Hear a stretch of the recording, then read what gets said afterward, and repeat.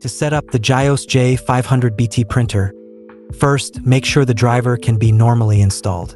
Go to System Settings and find the Privacy and Security option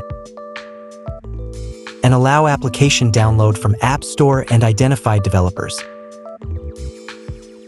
After entering the password, plug in the USB drive that came with the package.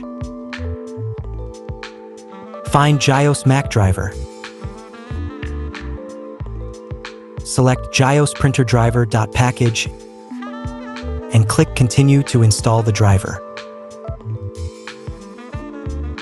Once it shows the installation was successful, you can move on to the next step to add the printer on your MacBook.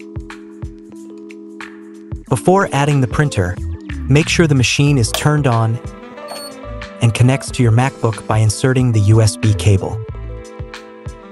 Then, go back to System Settings, click on Printers and Scanners, and Add Printer.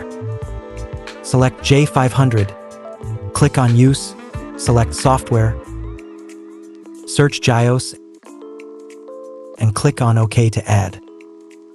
The printer has been successfully added. You can now print a sample label for testing. First, open the sample label by using Preview